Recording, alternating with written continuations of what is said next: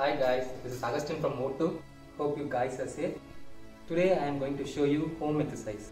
Today's workout is seated shoulder press, biceps alternate curl, seated one arm extension, floor chest press and jumping squats.